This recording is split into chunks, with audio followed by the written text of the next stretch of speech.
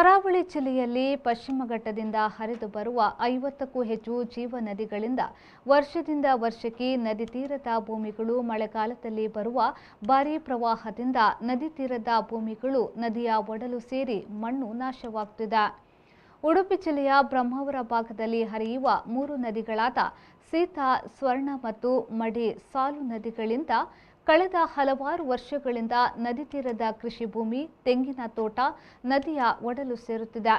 ಸೀತಾ ನದಿಯ ನೀಲಾವರ ಕಿಂಡಿ ಅಣೆಕಟ್ಟು ಮತ್ತು ನೀಲಾವರ ಕೂರಾಡಿ ಸೇತುವೆಯ ನಡುವೆ ತಿರುವು ಇರುವ ನದಿ ತೀರವಾದ ಬಂಡಿಮಠ, ಕೂರಾಡಿ, ಹನೇಹಳ್ಳಿ ತನಕದ ಬಾವಲಿಕುದ್ರು ಪ್ರದೇಶದ ಉತ್ತರ ಭಾಗದ ಮೂರು ಕಿಲೋಮೀಟರ್ ನದಿ ತೀರ ವರ್ಷದಿಂದ ವರ್ಷಕ್ಕೆ ಸವೆತ ಹೆಚ್ಚಿ ಅನೇಕ ಕೃಷಿ ಭೂಮಿ ನಾಶವಾಗಿ ಇನ್ನುಳಿದ ಭೂಪ್ರದೇಶ ಕೂಡ ಮಳೆಗಾಲದಲ್ಲಿ ಭಾರಿ ಪ್ರವಾಹಕ್ಕೆ ಕೊಚ್ಚಿ ಹೋಗುವ ಸಾಧ್ಯತೆ ಇದೆ.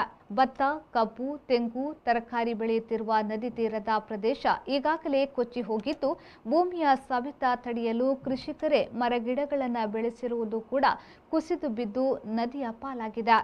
ಸಣ್ಣ ನೀರಾವರಿ ಇಲಾಖಾಧಿಕಾರಿಗಳು ಕೆಲವು ಭಾಗದಲ್ಲಿ ಕಲ್ಲು ಕಟ್ಟಿ ತಡೆಗೋಡಿಯ ಕಾಮಗಾರಿಯನ್ನ ಮಾಡಿ ಸರ್ಕಾರದ ಬೊಕ್ಕಸ ಖಾಲಿ ಮಾಡಿದ್ದಾರೆ. ಆದರೆ ಸಮಸ್ಯೆಯ ತಿರುವಿನ ಜಾಗವನ್ನ ಪರಿಶೀಲನೆ ಮಾಡಿ ನೈಜವಾಗಿ ಭೂ ಸವೆತ ಉಂಟಾಗುವಲ್ಲಿ ತಡೆಗೋಡೆ ಮಾಡಿ ಭೂಮಿಯ ಸವೆತ ತಡೆಯಬೇಕಾಗಿದೆ. ನಾನು ಹನಹಳ್ಳಿ ಪಂಚಾಯತಿನ ಮಾದಿ ಸದಸ್ಯನಾಗಿ ಆಗಿರುವ ಹಾಗೂ ನದಿಯ ತೀರದಲ್ಲಿ ನಮ್ಮ ಮನೆ ಇರುವುದರಿಂದಾಗಿ ನೆರೆಯಿಂದ ಏನು ಅನಾಹುತ ಆಗ್ತದೆ ಅಂತ ಹೇಳುವುದು ನಮಗೆ ಮಾತ್ರ ಗೊತ್ತಿದೆ. ಅಥವಾ ಪರವೂರಿಂದ ಬಂದವರಿಗೆ ಅದು ಗೊತ್ತಿರುವುದಿಲ್ಲ.